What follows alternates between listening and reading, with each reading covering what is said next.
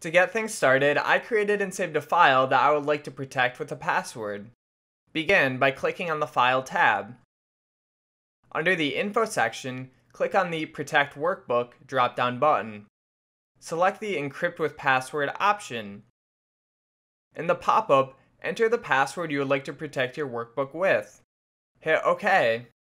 Re-enter your password to confirm it and hit OK again. Next, click on the back arrow to go back to your workbook. Save your file by using the Ctrl S keyboard shortcut so that your new password for your document gets saved. Now I'm going to close the file and reopen it so that you can see what the security prompt looks like. In the pop-up, enter the password you just created. Alright, this works great if you want to protect your document, but let's say you no longer want it protected. To remove the password, click on the File tab. Once again, click on the Protect Workbook drop-down button and select the Encrypt with Password option.